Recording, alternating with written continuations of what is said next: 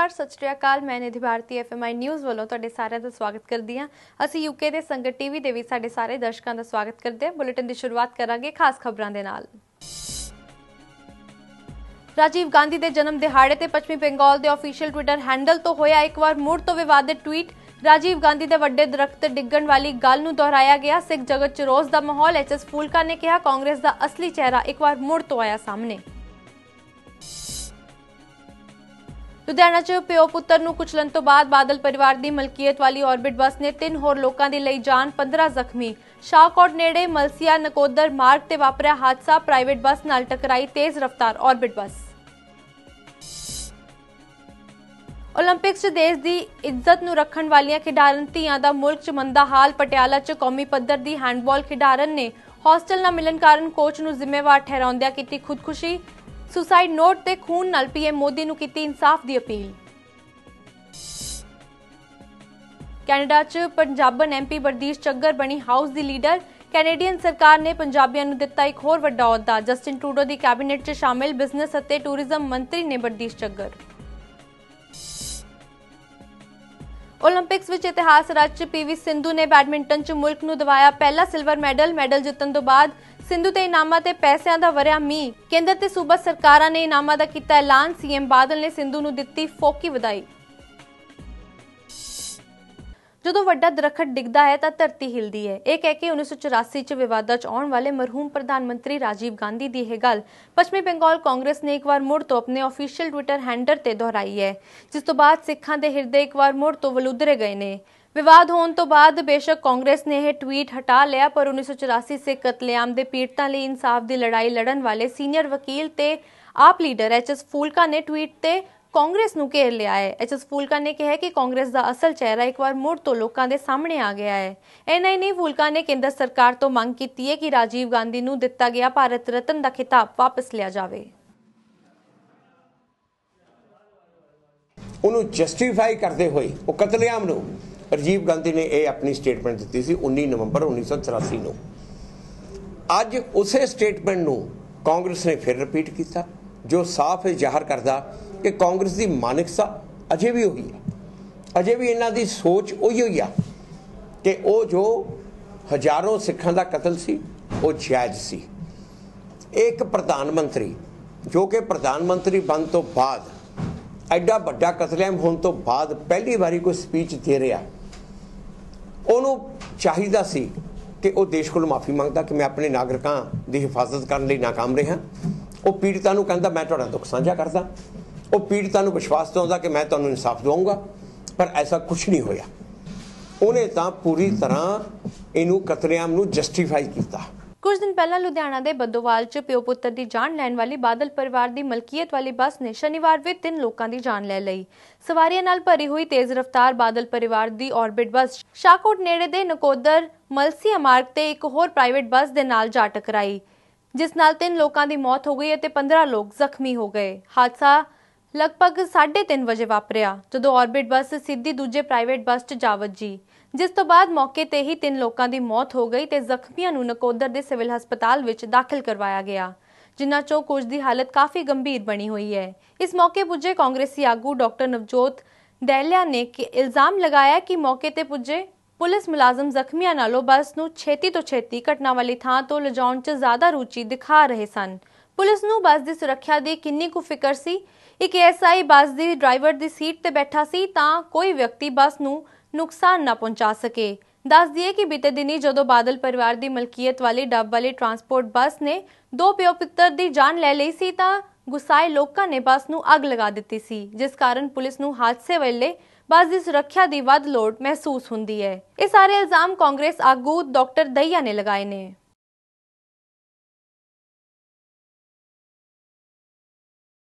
ਕੇਂਦਰ ਸਰਕਾਰ ਨੇ ਹਾਲ ਹੀ ਵਿੱਚ ਵਿਦੇਸ਼ਾਂ 'ਚ ਰਹਿਣ ਵਾਲੇ 36 ਸਿੱਖਾਂ ਦੇ ਨਾਂ ਆਪਣੇ ਬਲੈਕਲਿਸਟ 'ਚ ਹਟਾ ਦਿੱਤੇ ਨੇ, ਜਿਸ ਤੋਂ ਬਾਅਦ 200 ਤੋਂ ਵੱਧ ਨਾਮਾਂ ਵਾਲੀ ਕਾਲੀ ਸੂਚੀ 'ਚ ਹੁਣ ਸਿਰਫ 73 ਨਾਂ ਹੀ ਰਹਿ ਗਏ ਨੇ। ਕੇਂਦਰ ਵੱਲੋਂ ਹਟਾਏ ਗਏ 36 ਨਾਮਾਂ ਦਾ ਐਸਜੀਪੀਸੀ ਨੇ ਸਵਾਗਤ ਕੀਤਾ ਹੈ ਤੇ ਨਾਲ ਹੀ ਮੰਗ ਕੀਤੀ ਹੈ ਕਿ ਬਾਕੀ ਰਹਿੰਦੇ ਨਾਵਾਂ ਨੂੰ ਛੇਤੀ ਹੀ ਬਾਹਰ ਕੱਢਿਆ ਜਾਵੇ। ਦੱਸ ਦਈਏ ਕਿ 1984 ਚ ਕੇਂਦਰ ਸਰਕਾਰ ਨੇ ਦੇਸ਼ ਤੋਂ ਬਾਹਰ ਰਹਿੰਦੇ ਸੈਂਕੜੇ ਸਿੱਖਾਂ ਦੇ ਨਾਂ ਕਾਲੀ ਸੂਚੀ 'ਚ ਪਾ ਦਿੱਤੇ ਸਨ, ਜਿਨ੍ਹਾਂ ਨੂੰ ਮੁਲਕ ਵਾਪਸ ਆਉਣ ਦੀ ਮਨਾਹੀ ਸੀ।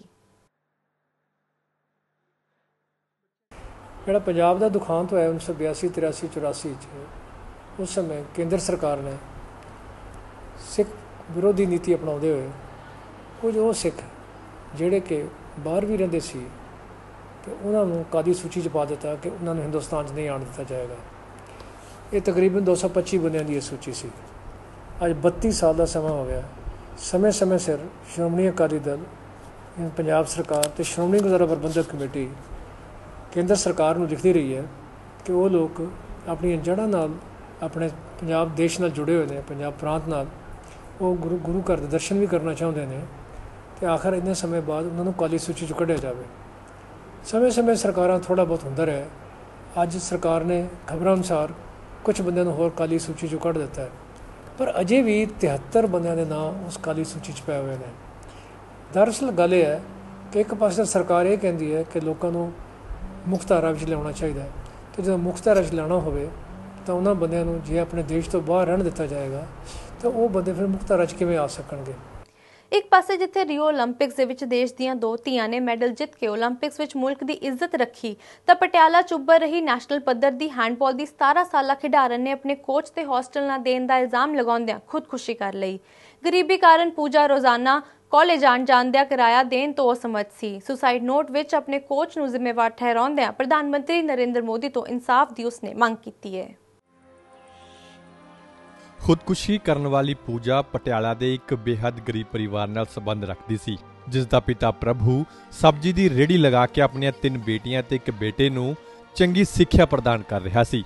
ਅਤੇ ਪੂਜਾ ਪਟਿਆਲਾ ਦੇ ਖਾਲਸਾ ਕਾਲਜ ਵਿੱਚ ਬੀਏ ਭਾਗ ਦੂਜਾ ਦੀ ਪੜ੍ਹਾਈ ਕਰਨ ਦੇ ਨਾਲ-ਨਾਲ ਹੈਂਡਬਾਲ ਦੀ ਟੀਮ 'ਚ ਵੀ ਸ਼ਾਮਿਲ ਸੀ, ਜਿਸ ਨੇ ਕਈ ਸੂਬਾਈ ਖੇਡਾਂ ਤੇ ਨੈਸ਼ਨਲ ਪੱਧਰ ਤੇ ਆਪਣੀ ਟੀਮ ਸਮੇਤ ਮੈਚ ਖੇਡੇ ਸਨ ਅਤੇ ਇਸ ਸਾਲ ਸੈਸ਼ਨ ਦੇ ਸ਼ੁਰੂ ਹੋਣ ਤੋਂ ਪਹਿਲਾਂ ਪੂਜਾ ਨੂੰ ਉਸਦੇ ਕੋਚ ਗਿੱਲ ਨੇ ਕਾਲਜ ਦੇ ਹੋਸਟਲ 'ਚ ਕਮਰਾ ਦਿੱਤਾ ਸੀ ਅਤੇ ਇਸ ਸਾਲ ਵੀ ਹੋਸਟਲ ਦੇਣ ਦਾ ਵਾਅਦਾ ਕੋਚ ਵੱਲੋਂ ਕੀਤਾ ਗਿਆ। ਪਰ ਜਦੋਂ ਪੂਜਾ ਨੇ ਕਾਲਜ 'ਚ ਦਾਖਲਾ ਕਰਵਾਇਆ ਤਾਂ ਉਸਨੇ ਅਤੇ ਉਸਦੇ ਨਾਲ ਕਬੱਡੀ ਅਤੇ ਹਾਕੀ ਦੇ ਖਿਡਾਰਨਾਂ ਨੂੰ ਹੋਸਟਲ ਦੇਣ ਤੋਂ ਮਨਾ ਕਰ ਦਿੱਤਾ ਗਿਆ, ਜਿਸ ਕਰਕੇ ਪੂਜਾ, ਜਿਸ ਕਰਕੇ ਪੂਜਾ ਗਹਿਰੇ ਸਦਮੇ ਚਲੀ ਗਈ। ਪੂਜਾ ਨੇ ਆਪਣੇ ਸੁਸਾਈਡ ਨੋਟ 'ਚ ਲਿਖਿਆ ਕਿ ਗਿਲ ਸਰ ਨੇ ਉਹਨਾਂ ਦੀ ਤਰ੍ਹਾਂ ਹੀ ਕਬੱਡੀ ਅਤੇ ਹਾਕੀ ਦੇ ਖਿਡਾਰਨਾਂ ਨੂੰ ਵੀ ਹੋਸਟਲ ਦੇਣ ਤੋਂ ਮਨਾ ਕਰ ਦਿੱਤਾ ਅਤੇ ਉਹ ਵੀ ਉਸੇ ਤਰ੍ਹਾਂ ਮਾਨਸਿਕ ਤੌਰ ਤੇ ਪਰੇਸ਼ਾਨ ਨੇ।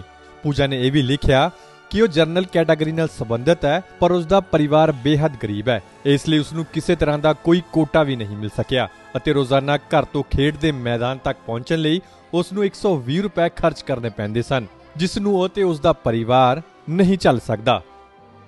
ये खालसा कॉलेज में पढ़ते थे हैंडबॉल की प्लेयर है हैंडबॉल की प्लेयर है खालसा कॉलेज का जो गिल सर है उन्होंने इसको टीम मतलब हॉस्टल में रखा हुआ था प्रताप नगर पिछले साल रिक्वाइस्ट ज़बरदस्ती हॉस्टल में रखा, हैंडबॉल की जितनी टीम थी, कबड्डी की टीम थी और हॉकी की टीम थी। इस बार गर्मी में छुट्टियाँ दे दी गई। छुट्टियाँ देने के बाद में जब छुट्टियाँ ख़त्म हो गई बच्चे बुलाए गए, बच्चे जब चले गए हॉस्टल में तो उनको बोला, बच्चों को बोला, गिल सर ने कि तुम लोग के वहाँ बच्चे बोले गेम करने आए हैं। गिल सर ने बोला, गेम यहाँ पे नहीं है तुम्हारे लोग, तुम लोग अपने अपने घर चले जाओ। बच्चों ने सवाल किया, क्यों सर? कहते हैं कि यहाँ जो बच्चे बाहर के हैं बड़े बड़े घर के बच्चे वो रहेंगे। जो बच्चे पैसा दे के घूस दे के उसमें हॉस्टल में रह रहे सिफार से वो बच्चे रहे, इसको निकाल दिया गया। मेरी मांग है, मेरे बच्चे को, मेरा बच्चा मरा है अफसोस से। मेरा बच्चा टेंशन ले गया, मैं बच्चे को बोला टेंशन ना करो, मैं कहीं ना कहीं तुम्हें एडमिशन कराऊँगा। अगर उनको यही काम करना था तो एक महीना पहले बता देते, तुम लोग हॉस्टल नहीं मिलेगा। या तो तुम लोग अगर आप डाउन कर सकते हो तो यहाँ गेम करके पढ़ाई करो, नहीं तो अपनी कहीं एडमिशन अलग करा लो। एक महीने के लिए छुट्टी दिया गया धोखा दिया गया। हम गरीब आदमी है ना मैंने बच्चा का एडमिशन ले गया ना स्कूल में, मुँह दाखिला खाना। कराए दाखिला हम ज्ञान गरीब हैं, सरकारी में हमारे बच्चा पढ़ी है वो गेम करते रहे हैंड बॉल का। हमारा बच्चा कहीं जाओ, तुम कहा दस दिन के अंदर अंदर बुला लिया पीठ पीछे बच्चा का मेरा धोखा दिए जब हमारा बच्चा फ़ोन किए तब कहीं आ तुम्हारा कोई ज़रूरत नहीं है। हमारे बच्चा के साथ है धोखा के न मेरा बच्चा की जान ले ले न मेरे बच्चा का है ਉਧਰ ਪੁਲਿਸ ਨੇ ਮੌਕੇ ਤੇ ਪਹੁੰਚ ਕੇ ਪੂਜਾ ਦੀ ਲਾਸ਼ ਨੂੰ ਆਪਣੇ ਕਬਜ਼ੇ 'ਚ ਲੈ ਕੇ ਪੋਸਟਮਾਰਟਮ ਲਈ ਭੇਜ ਦਿੱਤਾ ਹੈ ਅਤੇ ਜਾਂਚ ਅਧਿਕਾਰੀਆਂ ਦਾ ਕਹਿਣਾ ਹੈ ਕਿ ਸਾਰੇ ਤੱਥਾਂ ਨੂੰ ਸਾਹਮਣੇ ਰੱਖ ਕੇ ਹੀ ਜਾਂਚ ਕੀਤੀ ਜਾਏਗੀ ਕੀ ਹੋਇਆ ਜੀ ਹਜੇ ਮੈਂ ਵੈਰੀਫਾਈ ਕਰ ਰਿਹਾ ਫਿਰ ਮੈਂ ਕਲੀਅਰ ਕਰਕੇ ਦੱਸ ਕੀ ਸੁਸਾਈਡ ਕਰਨ ਦਾ ਕਾਰਨ ਪਤਾ ਲੱਗਿਆ ਕੀ ਹੋਇਆ ਜੀ ਹਜੇ ਨਹੀਂ ਕੋਈ ਗੱਲ ਕਲੀਅਰ ਹੋਈ ਕੋਈ ਲੈਟਰ ਵੀ ਮਿਲਿਆ ਆਪਣਾ ਸੁਸਾਈਡ ਨੋਟ ਮਿਲਿਆ ਜੀ ਫਿਲਹਾਲ ਜਿਹੜੀਆਂ ਧੀਆਂ ਨੇ ਰੀਓ 올림픽 'ਚ ਭਾਰਤ ਦੀ ਲਾਜ ਰੱਖੀ ਹੈ ਉਹੀ ਧੀਆਂ ਕਿਹੋ ਜਿਹੇ ਹਾਲਾਤਾਂ 'ਚ ਖੁਦਕੁਸ਼ੀਆਂ ਕਰ ਰਹੀਆਂ ਨੇ ਇਸ ਸਭ ਨੇ ਸਿਸਟਮ ਦੀ ਕਾਰਜ ਸਮਰੱਥਾ ਤੇ ਸਵਾਲ ਖੜੇ ਕਰ ਦਿੱਤੇ ਨੇ bureau report free media Jalandhar 'ਚ ਪਗੜੀ ਸੰਭਾਲ ਜੱਟਾ ਲਹਿਰ ਤੇ ਹੋਰ ਕਿਸਾਨ ਯੂਨੀਅਨ ਦੇ ਆਗੂਆਂ ਨੇ ਐਲਾਨ ਕੀਤਾ ਹੈ ਕਿ ਜੇਕਰ ਸਰਕਾਰ ਨੇ 26 ਅਗਸਤ ਤੱਕ ਉਹਨਾਂ ਦੇ ਗੰਨੇ ਦਾ ਬਕਾਇਆ ਨਾ ਦਿੱਤਾ ਤਾਂ ਉਹ ਦਸੂਹਾ 'ਚ ਸੜਕ ਰੋਕ ਕੇ ਅਤੇ ਰੇਲ ਰੋਕ ਕੇ ਅੰਦੋਲਨ ਸ਼ੁਰੂ ਕਰ ਦੇਣਗੇ। ਕਿਸਾਨਾਂ ਮੁਤਾਬਕ ਪਹਿਲਾਂ ਸਰਕਾਰ ਨੇ ਕਿਸਾਨਾਂ ਨੂੰ 3 ਸਤੰਬਰ ਤੱਕ ਦਾ ਸਮਾਂ ਦਿੱਤਾ ਸੀ, ਪਰ ਸਮਾਂ ਲੰਘ ਜਾਣ ਦੇ ਬਾਵਜੂਦ ਸਰਕਾਰ ਵੱਲੋਂ ਬਕਾਇਆ ਰਾਸ਼ੀ ਜਾਰੀ ਨਹੀਂ ਕੀਤੀ ਗਈ। ਦੱਸ ਕਿ ਸਰਕਾਰ ਵੱਲੋਂ ਕਿਸਾਨਾਂ ਦਾ 245 ਕਰੋੜ ਰੁਪਇਆ ਬਕਾਇਆ ਹੈ। ਕਿ ਸਰਕਾਰ ਨੇ ਸਾਡੇ ਗੰਨਿਆਂ ਦੇ ਪੇਮੈਂਟ ਜਿਹੜੀ ਉਹ ਕਰਨੀ ਸੀ, ਜਿਹਦੇ ਵਿੱਚ ਸਾਡਾ ਪਿਛਲੇ 3 ਸਤੰਬਰ ਜੋ ਜਲੰਧਰ ਧਰਨਾ ਲੱਗਾ ਸੀ ਉਹਦੇ ਵਿੱਚ ਸਰਕਾਰ ਨਾਲ ਲਿਖਤੀ ਸਮਝੌਤਾ ਹੋਇਆ ਸੀ ਕਿ ਸਾਡੇ ਜਿਹੜੇ 245 ਮਿੱਲਾਂ ਦੇਣਗੀਆਂ ਤੇ 50 ਰੁਪਏ ਜਿਹੜੀ ਆ ਉਹ ਸਰਕਾਰ ਦੇਵੇਗੀ। ਉਹ 50 ਰੁਪਏ ਦੇ ਹਿਸਾਬ ਨਾਲ 226 ਕਰੋੜ ਰੁਪਈਆ ਸਰਕਾਰ ਵੱਲ ਸਾਡਾ ਬਣਦਾ ਹੈ। ਉਹ ਸਾਨੂੰ ਨਹੀਂ ਦੇ ਰਹੀ। ਜਿਨ੍ਹਾਂ ਕਰਕੇ ਅਸੀਂ ਬਾਰ-ਬਾਰ ਅਪੀਲ ਕਰਨ ਦੇ ਵੀ, ਬਾਰ-ਬਾਰ ਰੋਸ ਮਾਰਚ ਕਰਨ ਦੇ ਕਰ, ਕਰਕੇ ਵੀ ਅਸੀਂ ਸਰਕਾਰ ਨੂੰ ਕਿਹਾ ਪਰ ਸਾਡੀ ਉਹ ਗੱਲ ਨਹੀਂ ਮੰਨ ਰਹੇ। ਜੇ 26 ਤਰੀਕ ਤੱਕ ਸਾਡੇ ਪੈਸੇ ਤੇ, ਉਹ 238 ਕੁ ਜਿਹੜੀ ਵੈਰਾਈਟੀ ਉਹਨੂੰ ਅਰਲੀ ਵਿੱਚ ਨਾ ਕੀਤਾ ਗਿਆ ਤੇ ਅਸੀਂ ਗੁਰਦਾਸ ਉੱਥੇ ਦਸੂਏ ਵਿੱਚ ਇੱਕ ਬੜਾ ਵੱਡਾ ਅੰਦੋਲਨ ਕਰਨ ਛੇੜਨ ਜਾ ਰਹੇ ਹਾਂ, ਜਿਹਦੇ ਵਿੱਚ ਸੜਕ ਰੋਕੂ ਤੇ ਰੇਲ ਰੋਕੂ ਅੰਦੋਲਨ ਹੋਵੇਗਾ। ਬੜੀ ਵੱਡੀ ਤਾਦਾਦ 'ਚ ਕਿਸਾਨ ਉੱਥੇ ਪਹੁੰਚ ਕੇ ਆਪਣੀਆਂ ਜਿਹੜੀਆਂ ਜਿਹੜੀਆਂ ਮੁਸੀਬਤਾਂ ਉਹਨੂੰ ਹੱਲ ਕਰਾਉਣ ਵਾਸਤੇ ਉੱਥੇ ਪਹੁੰਚ ਰਹੇ। ਉਹਦੇ ਵਿੱਚ ਪਗੜੀ ਸੰਭਾਲ ਜੱਟਾ ਲਹਿਰ, ਦੁਆਬਾ ਸੰਘਰਸ਼ ਕਮੇਟੀ, ਗੰਨਾ ਉਤਪਾਦਕ ਐਸੋਸੀਏਸ਼ਨ ਪੰਜਾਬ, ਜੱਟ ਮਾਹ ਕੌਂਸਲ, ਜਲੰਧਰ ਤੇ ਹੋਰ ਵੀ ਬਹੁਤ ਸਾਰੀਆਂ ਜਥੇਬੰਦੀਆਂ, ਸੰਘਰਸ਼ ਸੰਗੀਲ ਜਥੇਬੰਦੀ ਜਿਹੜੀਆਂ ਆ, ਉਹ ਸਾਡੇ ਨਾਲ ਰਾਬਤਾ ਕਰਕੇ ਉੱਥੇ ਪਹੁੰਚ ਰਹੀਆਂ। ਖਬਰ ਲੁਧਿਆਣਾ ਤੋਂ ਹੈ, ਜਿੱਥੇ ਸੜਕ ਤੇ ਸ਼ਰੇਆਮ ਜੂਆ ਖੇਡ ਰਹੇ ਲੋਕਾਂ ਨੂੰ ਜਦੋਂ ਇੱਕ ਪੁਲਿਸ ਮੁਲਾਜ਼ਮ ਵੱਲੋਂ ਰੋਕਿਆ ਗਿਆ, ਤਾਂ ਜੂਆ ਖੇਡ ਰਹੇ ਲੋਕ ਪਹਿਲਾਂ ਉਸ ਨੂੰ ਧੱਕੇ ਨਾਲ ਰਿਸ਼ਵਤ ਦੇਣ ਲੱਗ ਪਏ ਅਤੇ ਆਪਣੀ ਗੱਲ ਨਾ ਬੰਦੀ ਦੇਖ ਉਹਨਾਂ ਨੇ ਡਿਊਟੀ ਤੇ ਮੌਜੂਦ ਏਐਸਆਈ ਦੀ ਕੁੱਟਮਾਰ ਸ਼ੁਰੂ ਕਰ ਦਿੱਤੀ। ਇੰਨਾ ਹੀ ਨਹੀਂ ਜੁਆਰੀਆਂ ਨੇ ਪੁਲਿਸ ਮੁਲਾਜ਼ਮ ਦੀ ਵਰਦੀ ਵੀ ਫਾੜ ਦਿੱਤੀ, ਜਿਸ ਤੋਂ ਬਾਅਦ ਪੁਲਿਸ ਨੇ ਮਾਮਲਾ ਦਰਜ ਕਰਕੇ ਮੁਲਜ਼ਮਾਂ ਦੀ ਭਾਲ ਸ਼ੁਰੂ ਕਰ ਦਿੱਤੀ ਹੈ। ਇਹ ਅਸੀਂ ਵਰਿੰਦਰਪਾਲ ਸਿੰਘ ਹੈ ਜੋ ਟਰੈਕਟਰ ਦਾ ਮੁਲਾਜ਼ਮ ਹੈ। ਇਹਦੀ ਡਿਊਟੀ ਜਗਰਾਉਂ ਬ੍ਰਿਜ ਤੋਂ ਸਬਜ਼ੀ ਮੰਡੀ ਚੌਂਕ ਤੱਕ ਲੱਗੀ ਸੀ। ਤੇ ਰਸਤੇ ਦੇ ਵਿੱਚ ਜਿਹੜਾ ਘੰਟਾਘਰ ਚੌਂਕ ਦੇ ਵਿੱਚ ਇਹ ਆਪਣਾ ਟ੍ਰੈਫਿਕ ਕਲੀਅਰ ਕਰਾ ਰਿਹਾ ਸੀ। ਕੋਈ ਬੰਦੇ ਪੰਜ ਸੱਤ ਬੰਦੇ ਜਿਹੜੇ ਉੱਥੇ ਜੂਆ ਖੇਡ ਰਹੇ ਸੀ। ਜੂਆ ਖੇਡਦੇ ਬੰਦਿਆਂ ਨੂੰ ਜਦੋਂ ਇਹਨਾਂ ਨੇ ਪੁਲਿਸ ਨੇ ਰੋਕਿਆ ਤੇ ਉਹ ਏਐਸਆਈ ਦੇ ਗਲ ਪੈ ਗਏ। ਗਲ ਪੈਣ ਦੇ ਨਾਲ ਆਪਸ ਵਿੱਚ ਇਹਨਾਂ ਦੇ ਧੱਕਾ ਮੁੱਕੀ ਕੀਤੀ ਹੈ। ਜਿਨ੍ਹਾਂ ਦੇ ਖਿਲਾਫ ਅਸੀਂ ਮੁਕੱਦਮਾ ਨੰਬਰ 81 ਥਾਣਾ ਕਤਵਾਲੀ 'ਚ ਦਰਜ ਕਰ ਲਿਆ। ਮੁਕੱਦਮਾ 323 341 506 353 186 332 ਆਈਪੀਸੀ ਤਹਿਤ ਤਹਿਤ ਆਈਪੀਸੀ ਦੇ ਤਹਿਤ ਦਰਜ ਕਰ ਦੋਸ਼ੀਆਂ ਦੀ ਭਾਲ ਜਾਰੀ ਹੈ। ਇੱਕ ਦੋਸ਼ੀ ਦੀ ਪਛਾਣ ਅਜੇ ਤੱਕ ਕਰਾਈ ਹੈ, ਜਿਹਦਾ ਨਾਮ ਕੋਈ ਮਹਿੰਦੀ ਨਾਂ ਦਾ ਬੰਦਾ ਹੈ। ਬਾਕੀ ਨੂੰ ਅਸੀਂ ਆਇਡੈਂਟੀਫਾਈ ਕਰਕੇ ਜਲਦੀ ਇਹਨਾਂ ਨੂੰ ਇਹਨਾਂ ਦੇ ਖਿਲਾਫ ਕਾਰਵਾਈ ਕਰਾਂਗੇ। ਬੀਤੇ ਦਿਨੀ ਹੁਸ਼ਿਆਰਪੁਰ ਦੇ ਪਿੰਡ ਬੈੜਾ ਦੀ ਇੱਕ ਵੀਡੀਓ ਸੋਸ਼ਲ ਮੀਡੀਆ ਤੇ ਵਾਇਰਲ ਹੋਈ ਸੀ, ਜਿਸ 'ਚ ਪਿੰਡ ਦੀ ਸਰਪੰਚ ਆਪਣੇ ਸਾਥੀਆਂ ਦੇ ਨਾਲ ਇੱਕ ਮਹਿਲਾ ਵੀਨਾ ਨੂੰ ਸ਼ਰੇਆਮ ਕੁੱਟਦੀ ਨਜ਼ਰ ਆਈ ਸੀ। ਸੋਸ਼ਲ ਮੀਡੀਆ ਤੇ ਵੀਡੀਓ ਵਾਇਰਲ ਹੋਣ ਤੋਂ ਬਾਅਦ ਪੁਲਿਸ ਹਰਕਤ 'ਚ ਆਈ ਹੈ ਤੇ ਮੁਲਜ਼ਮਾਂ ਨੂੰ ਕਾਬੂ ਕਰਨ ਦਾ ਦਾਅਵਾ ਕਰ ਰਹੀ ਹੈ। ਔਰਤ ਨਾਲ ਕੁੱਟਮਾਰ ਦੀ ਘਟਨਾ ਹੁਸ਼ਿਆਰਪੁਰ ਦੀ ਹੈ, ਜਿੱਥੇ ਪਿੰਡ ਬੈੜਾ ਦੀ ਮਹਿਲਾ ਸਰਪੰਚ ਨੇ ਆਪਣੇ ਸਾਥੀ ਨਾਲ ਮਿਲ ਕੇ ਵੀਨਾ ਰਾਣੀ ਦੀ ਖੂਬ ਕੁੱਟਮਾਰ ਕੀਤੀ। ਇੰਨਾ ਹੀ ਨਹੀਂ, ਕੁੱਟਮਾਰ ਦਾ ਵੀਡੀਓ ਵੀ ਬਣਾਇਆ ਗਿਆ। ਵੀਨਾ ਰਾਣੀ ਦਾ ਸਰਪੰਚ ਨਾਲ ਕੁਝ ਜ਼ਮੀਨੀ ਵਿਵਾਦ ਸੀ ਅਤੇ ਵੀਨਾ ਵਿਵਾਦਿਤ ਜ਼ਮੀਨ ਤੇ ਕੁਝ ਕੰਮ ਗਈ ਸੀ, ਜਿਸ ਤੋਂ ਬਾਅਦ ਮਹਿਲਾ ਸਰਪੰਚ ਦੇ ਸਾਥੀਆਂ ਨੇ ਵੀਨਾ ਨੂੰ ਲੋਹੇ ਦੀ ਰਾੜ ਨਾਲ ਵੀ ਕੁੱਟਿਆ ਤੇ ਵਾਲਾਂ ਤੋਂ ਫੜ ਕੇ ਵੀ ਖਿੱਚਿਆ ਗਿਆ ਤੇ ਉਦੋਂ ਤੱਕ ਵੀਨਾ ਦੀ ਕੁੱਟਮਾਰ ਹੁੰਦੀ ਰਹੀ, ਜਦੋਂ ਤੱਕ ਉਹ ਬੇਹੋਸ਼ ਨਾ ਹੋ ਗਈ ਤੇ ਮੌਕੇ ਤੇ ਖੜੇ ਲੋਕਾਂ ਨੇ ਵੀਨਾ ਨੂੰ ਹਸਪਤਾਲ ਪਹੁੰਚਾਇਆ ਅਤੇ ਕੁੱਟਮਾਰ ਦਾ ਇਹ ਵੀਡੀਓ ਸੋਸ਼ਲ ਮੀਡੀਆ ਤੇ ਵਾਇਰਲ ਹੋ ਗਿਆ। ਪੀੜਤ ਵੀਨਾ ਨੇ ਮਹਿਲਾ ਸਰਪੰਚ ਸਮੇਤ ਕਈ ਲੋਕਾਂ ਤੇ ਇਲਜ਼ਾਮ ਲਗਾਏ ਨੇ। ਕੱਲ ਸਾਡੇ ਘਰ 'ਚ ਨਾ ਬਾੜ ਵੱਢਣ ਆਏ ਸੀਗੇ ਉਹ, ਤੇ ਉਹ ਕਹਿੰਦੇ ਕਿ ਆਪਣਾ ਬਾੜ ਪਿੱਛੇ ਨੂੰ ਕਰੋ, ਅਸੀਂ ਕਿਹਾ ਨਹੀਂ ਕਰਨਾ। ਫਿਰ ਉਹਨਾਂ ਨੇ ਸਾਡੀ ਡਾਟੀਆਂ ਲੈ ਕੇ ਸਾਨੂੰ ਮਾਰਨ ਆਏ ਘਰ। ਅਸੀਂ ਕਿਹਾ ਕਿ ਵੀ ਕਿ ਤੁਸੀਂ ਜਿਹੜੀ ਗੱਲ ਬੈਠ ਕੇ ਕਰ ਲਓ। ਉਹਨਾਂ ਨੇ ਕਹਿੰਦੇ ਅਸੀਂ ਗੱਲ ਨਹੀਂ ਕਰਨੀ, ਅਸੀਂ ਡਾਟੀਆਂ ਹੁਣ ਘਰ ਆ ਕੇ ਮਾਰਨ ਆ ਗਏ। ਫਿਰ ਡੈਡੀ ਹੁਣ ਅੱਗੇ ਹੁਣ ਲੱਗੇ ਤੇ ਅੱਗੇ ਮੈਂ ਆ ਗਈ ਤਾਂ ਡਾਟੀ ਉਹਨਾਂ ਮੇਰੇ ਹੱਥ ਸਿਰ 'ਚ ਲੱਗੇ ਮਾਰ ਮੈਂ ਹੱਥ 'ਚ ਵੱਜ ਗਈ।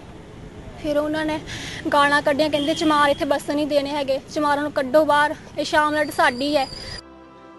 ਉਧਰ ਮਾਮਲੇ 'ਚ ਮੁਲਜ਼ਮਾਂ ਨੂੰ ਪੁਲਿਸ ਨੇ ਕਾਬੂ ਕਰਨ ਦਾ ਦਾਅਵਾ ਕੀਤਾ ਹੈ इस मामले की गंभीरता को लेते हुए इसमें अभी तक दो पुरुष जो मेन जिन्होंने पिटाई की है और एक लेडी जो गांव की अ, बेड़िंग की मौजूदा सरपंच है और ये अ, दो पुरुष श्यामलाल और बलबीर चंद है इनकी अरेस्ट इस मुकदमा में हो चुकी है जिनको जल्दी हम कोर्ट में पेश करते हैं ਫਿਲਹਾਲ ਔਰਤਾਂ ਨਾਲ ਕੁੱਟਮਾਰ ਕਰਨ ਦਾ ਇਹ ਕੋਈ ਪਹਿਲਾ ਮਾਮਲਾ ਨਹੀਂ। ਇਸ ਤੋਂ ਪਹਿਲਾਂ ਵੀ ਕਈ ਵਾਰ ਔਰਤਾਂ ਨਾਲ ਸ਼ਰੇਆਮ ਤਸ਼ੱਦਦ ਦੀਆਂ ਘਟਨਾਵਾਂ ਸਾਹਮਣੇ ਆ ਚੁੱਕੀਆਂ ਨੇ, ਜੋ ਸਾਡੇ ਸਮਾਜ ਦਾ ਅਸਲ ਚਿਹਰਾ ਨੰਗਾ ਕਰਦੀਆਂ ਨੇ। ਹੁਸ਼ਿਆਰਪੁਰ ਤੋਂ ਭਰਤ ਭੂਸ਼ਣ, ਫ੍ਰੀ ਮੀਡੀਆ। ਇੱਕ ਦਿਲ ਦਹਿਲਾਣ ਵਾਲੀ ਖਬਰ ਅੰਮ੍ਰਿਤਸਰ ਤੋਂ ਹੈ, ਜਿੱਥੇ ਇੱਕ ਮਾਨਸਿਕ ਤੌਰ ਤੇ ਪਰੇਸ਼ਾਨ ਪੁਲਿਸ ਮੁਲਾਜ਼ਮ ਨੇ 40 ਫੋਲਡਿੰਗ ਚਾਕੂ ਨਿਗਲ ਲਏ। ਜਦੋਂ ਮੁਲਾਜ਼ਮ ਨੂੰ ਪੇਟ ਦਰਦ ਦੀ ਤਕਲੀਫ ਹੋਈ, ਤਾਂ ਪਰਿਵਾਰ ਵਾਲਿਆਂ ਨੇ ਅਲਟਰਾਸਾਊਂਡ ਕਰਵਾਇਆ, ਜਿਸ 'ਚ ਇੱਕ ਕਾਲਾ ਗੁੱਛਾ ਨਜ਼ਰ ਆਇਆ। ਤੇ ਡਾਕਟਰਾਂ ਨੂੰ ਕੈਂਸਰ ਦਾ ਅੰਦਾਜ਼ਾ ਹੋਇਆ, ਪਰ ਜਦੋਂ ਪੇਟ ਦੀ ਸਿਟੀ ਸਕੈਨ ਕੀਤੀ ਗਈ, ਤਾਂ ਡਾਕਟਰ ਹੈਰਾਨ ਰਹਿ ਗਏ। ਡਾਕਟਰਾਂ ਨੂੰ ਪੇਟ 'ਚ ਲੋਹੇ ਦੀ ਚੀਜ਼ ਦਿਖਾਈ ਦਿੱਤੀ। ਤੇ ਜਦੋਂ ਪੇਟ ਦੀ ਸਰਜਰੀ ਕੀਤੀ ਗਈ, ਤਾਂ ਢਿੱਡ 'ਚੋਂ ਡਾਕਟਰ ਨੇ 40 ਚਾਕੂ ਕੱਢੇ। ਇਸ ਪੂਰੇ ਮਾਮਲੇ ਦੀ ਹਸਪਤਾਲ ਤੇ ਖੇਤਰ ਦੇ ਵਿੱਚ ਕਾਫੀ ਚਰਚਾ ਹੈ। ਮੇਰੇ ਨਾਲ ਇਹ ਹੋਇਆ ਜੀ, ਮੈਂ ਪਾਣੀ ਦੇ ਨਾਲ ਐਵੇਂ ਨਾ ਸ਼ਦਾਈਆਂ ਨੂੰ ਸ਼ੌਂਕ ਸ਼ੌਂਕ ਦੇ ਨਾਲ ਚਾਕੂ ਇੱਕ ਇੱਕ ਕਰਕੇ ਉਹ ਵਿੱਚ ਬਿਲਟੀ ਸੀ ਚਾਕੂ ਕਾਗਜ਼ਾਂ ਦੇ ਉਹ ਖਾ ਗਿਆ ਜੀ ਕਿੰਨੇ ਕੇ ਚਾਕੂ ਖਾਦਾ ਸੀ ਜੀ ਚਾਕੂ 40 ਲਗੇ ਖਾਦੇ ਜੀ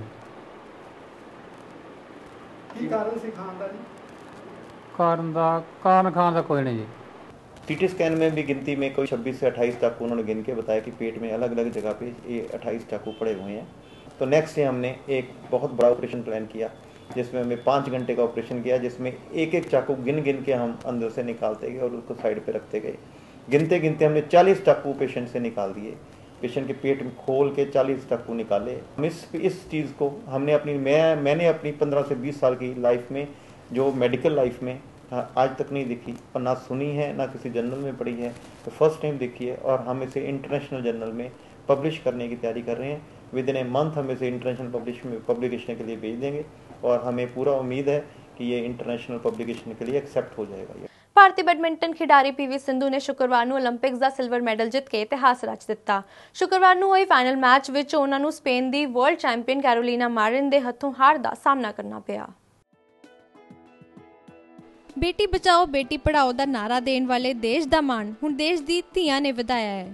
ਰੀਓ 올림픽 ਦੇ ਮਹਿਲਾ ਸਿੰਗਲਜ਼ ਮੁਕਾਬਲੇ ਵਿੱਚ ਭਾਰਤ ਦੀ ਪੀਵੀ ਸਿੰਧੂ ਨੇ ਸ਼ੁੱਕਰਵਾਰ ਸਿਲਵਰ ਮੈਡਲ ਜਿੱਤਿਆ ਹੈ।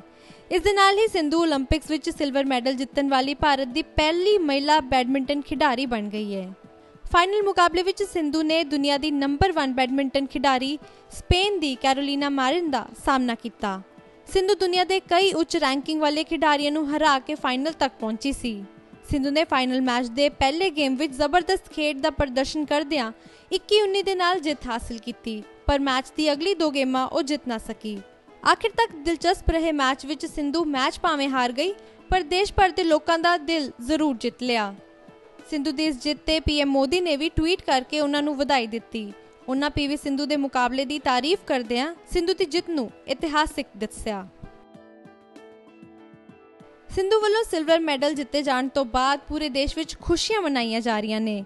ਪਹਿਲਾਂ ਹਰਿਆਣਾ ਦੀ ਸਾਕਸ਼ੀ ਮਲਿਕ ਨੇ ਰੈਸਲਿੰਗ ਵਿੱਚ ਬ੍ਰੌਂਜ਼ ਮੈਡਲ ਹਾਸਲ ਕੀਤਾ ਸੀ, ਪਰ ਹੁਣ ਪੀਵੀ ਸਿੰਧੂ ਨੇ ਸਿਲਵਰ ਜਿੱਤ ਕੇ ਖੁਸ਼ੀ ਨੂੰ ਦੁੱਗਣਾ ਕਰ ਦਿੱਤਾ। ਜਿੱਥੇ ਦੇਸ਼ ਦੀਆਂ ਇਹਨਾਂ ਧੀਆਂ ਨੂੰ ਚੌਤਰਫਾ ਪਿਆਰ ਮਿਲ ਰਿਹਾ ਹੈ, ਉੱਥੇ ਹੀ ਲੁਧਿਆਣਾ ਦੇ ਸੀਨੀਅਰ ਸਿਟੀਜ਼ਨਸ ਅਤੇ ਲੁਧਿਆਣਾ ਫਰਸਟ ਕਲੱਬ ਨੇ ਸਾਕਸ਼ੀ ਅਤੇ ਸਿੰਧੂ ਨੂੰ 골ਡ ਮੈਡਲ ਦੇ ਕੇ ਸਨਮਾਨਿਤ ਕਰਨ ਦਾ ਫੈਸਲਾ ਲਿਆ ਹੈ। ਲੁਧਿਆਣਾ ਦੇ ਸੀਨੀਅਰ ਸਿਟੀਜ਼ਨਸ ਵੱਲੋਂ ਸ਼ਹਿਰ ਵਿੱਚ ਇੱਕ ਵੱਡਾ ਪ੍ਰੋਗਰਾਮ ਰੱਖ ਕੇ ਦੋਵਾਂ ਨੂੰ ਸਨਮਾਨਿਤ ਕਰਨ ਦਾ ਐਲਾਨ ਕੀਤਾ ਗਿਆ ਹੈ। बड़ी खुशी की बात है कि रियो ओलंपिक में हमारे भारत की दो बेटियाँ, मलिक और सिंधु, ने जो मेडल हासिल किए हैं, हमारे लिए, भारतवासियों के लिए बहुत ही गौरव की बात है। हमारियाँ बेटियाँ, हमारा गौरव है।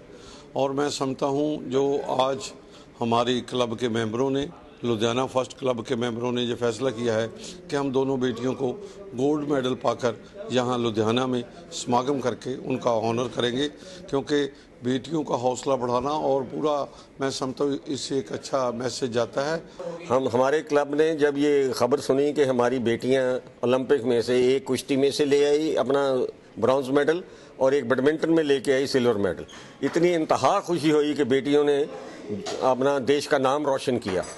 मैं चाहता हूं कि बाकी भी सब इनको देख के अपनी बेटियों को उत्साहत करें और बेटियों के नहीं बेटों को भी कहें अगर ये बेटियां ला सकती हैं आप भी मेहनत करो और इसमें गेम्स में हिस्सा लो ਰੀਓ 올림픽ਸ 2016 ਖਤਮ ਹੋਣ ਵਿੱਚ ਸਿਰਫ 2 ਹੀ ਦਿਨ ਰਹਿ ਗਏ ਨੇ ਹੁਣ ਵੇਖਣਾ ਇਹ ਹੋਵੇਗਾ ਕਿ ਹੋਰ ਕਿੰਨੇ ਕੁ ਮੈਡਲ ਭਾਰਤ ਦੇ ਹਿੱਸੇ ਚਾਹੁੰਦੇ ਨੇ ਬਿਊਰੋ ਰਿਪੋਰਟ ਫ੍ਰੀ ਮੀਡੀਆ ਅਦਾਕਾਰ ਆਮਿਰ ਖਾਨ ਤੋਂ ਬਾਅਦ ਹੁਣ ਪ੍ਰਧਾਨ ਮੰਤਰੀ ਨਰਿੰਦਰ ਮੋਦੀ, ਇਨਕ੍ਰੈਡੀਬਲ ਇੰਡੀਆ ਮੁਹਿੰਮ ਦਾ ਚਿਹਰਾ ਹੋਣਗੇ। ਇਸ ਦਾ ਰਸਮੀ ਐਲਾਨ ਕਰ ਦਿੱਤਾ ਗਿਆ ਹੈ। ਇਸ ਅਭਿਆਨ ਦੇ ਤਹਿਤ ਹੁਣ ਇੱਕ ਐਡ ਫਿਲਮ ਵੀ ਬਣਾਈ ਜਾਵੇਗੀ, ਜਿਸ ਵਿੱਚ ਪੀਐਮ ਮੋਦੀ ਭਾਰਤ ਦੀ ਵੱਖ-ਵੱਖ ਥਾਵਾਂ ਦੀ ਖਾਸੀਅਤ ਗਿਣਵਾਉਂਦੇ ਨਜ਼ਰ ਆਉਣਗੇ। ਇਸ ਤੋਂ ਪਹਿਲਾਂ ਵੀ ਸੈਰ ਸਪਾਟਾ ਮੰਤਰੀ ਮਹੇਸ਼ ਨੇ ਇਸ ਮੁਹਿੰਮ ਲਈ ਪੀਐਮ ਮੋਦੀ ਦੇ ਸਭ ਤੋਂ ਬਿਹਤਰੀਨ ਸ਼ਖਸੀਅਤ ਹੋਣ ਦੀ ਗੱਲ ਆਖੀ ਸੀ, ਪਰ ਉਸ ਵੇਲੇ ਇਸ ਦਾ ਕੋਈ ਅਧਿਕਾਰਤ ਤੌਰ ਤੇ ਐਲਾਨ ਨਹੀਂ ਕੀਤਾ ਗਿਆ ਸੀ। ਹੁਣ ਇਸ ਐਲਾਨ ਤੋਂ ਬਾਅਦ ਨਵੀਂ ਐਡ ਫਿਲਮ ਦਾ ਕੰਮ ਛੇਤੀ ਤੋਂ ਛੇਤੀ ਮੁਕੰਮਲ ਕੀਤਾ ਜਾਵੇਗਾ। ਜ਼ਿਕਰਯੋਗ ਹੈ ਕਿ ਭਾਰਤ ਛੱਡਣ ਬਾਰੇ ਵਿਵਾਦਿਤ ਬਿਆਨ ਦੇਣ ਤੋਂ ਬਾਅਦ ਇਸ ਮੁਹਿੰਮ ਤਹਿਤ ਆਮਿਰ ਖਾਨ ਦੇ ਕੰਟਰੈਕਟ ਨੂੰ ਹੋਰ ਨਹੀਂ ਵਧਾਇਆ ਗਿਆ ਸੀ। ਵਿਦੇਸ਼ਾਂ ਵਿੱਚ ਪੰਜਾਬੀਆਂ ਦਾ ਮਾਣ ਵਧਾਉਣ ਵਾਲੀ ਪ੍ਰਾਪਤੀਆਂ ਵਿੱਚ ਹੁਣ ਇੱਕ ਹੋਰ ਪ੍ਰਾਪਤੀ ਜੁੜ ਗਈ ਹੈ। ਕੈਨੇਡਾ ਵਿੱਚ ਪੰਜਾਬਣ ਨੂੰ ਇੱਕ ਵੱਡਾ ਅਹੁਦਾ ਦਿੱਤਾ ਗਿਆ ਹੈ। ਪੰਜਾਬੀ ਮੂਲ ਦੀ ਐਮਪੀ ਬਰਦੀਸ਼ ਚੱਗਰ ਨੂੰ ਕੈਨੇਡਾ ਸਰਕਾਰ ਵੱਲੋਂ ਹਾਊਸ ਲੀਡਰ ਬਣਾਇਆ ਗਿਆ ਹੈ। ਜ਼ਿਕਰਯੋਗ ਹੈ ਕਿ ਬਰਦੀਸ਼ ਚੱਗਰ ਵਾਟਰਲੂ ਤੋਂ ਐਮਪੀ ਹੋਣ ਦੇ ਨਾਲ-ਨਾਲ ਸਮਾਲ ਬਿਜ਼ਨਸ ਐਂਡ ਟੂਰਿਜ਼ਮ ਮੰਤਰੀ ਵੀ ਨੇ। ਕੈਨੇਡਾ ਦੇ ਇਤਿਹਾਸ 'ਚ ਇਸ ਅਹੁਦੇ ਤੇ ਕਾਬਜ਼ ਹੋਣ ਵਾਲੀ ਬਰਦੀਸ਼ ਪਹਿਲੀ ਔਰਤ ਹੈ। ਰਾਈਡੂ ਹਾਲ ਤੋਂ ਹਾਊਸ ਆਫ ਕਾਮਨਸ ਵਿੱਚ ਬਰਦੀਸ਼ ਨੂੰ ਗਵਰਨਰ ਜਨਰਲ ਡੇਵਿਡ ਜਨਰਲ ਨੇ ਸਰਕਾਰ ਦੇ ਮੰਤਰੀਆਂ ਦੀ ਮੌਜੂਦਗੀ 'ਚ ਅਹੁਦੇ ਤੋਂ ਭੇਦ ਗੁਪਤ ਰੱਖਣ ਦੀ ਸਹੁੰ ਚੁਕਾਈ। ਜ਼ਿੰਮੇਵਾਰੀ ਮਿਲਣ ਤੋਂ ਬਾਅਦ ਬਰਦੀਸ਼ ਨੇ ਕੈਨੇਡਾ ਸਰਕਾਰ ਦਾ ਧੰਨਵਾਦ ਕੀਤਾ ਅਤੇ ਕਿਹਾ ਕਿ ਉਹ ਆਪਣੀ ਜ਼ਿੰਮੇਵਾਰੀਆਂ ਨੂੰ ਪੂਰੀ ਤਨਦੇਹੀ ਨਾਲ ਨਿਭਾਏਗੀ।